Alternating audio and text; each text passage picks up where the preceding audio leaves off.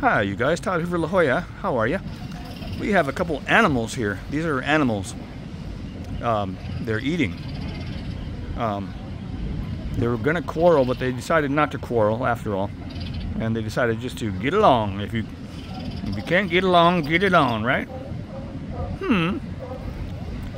Life is a comedy to those who think, a tragedy to those who feel. Hmm. You can say what you really think. Uh, really?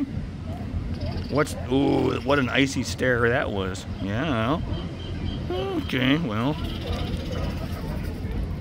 you guys should give lessons because people quarrel way too much, don't they? I don't like to quarrel. It gets my dander up. Gets my dandruff up. oh, that's not funny. So let's uh, blow this up a little bit. Uh oh, He didn't like that? Okay.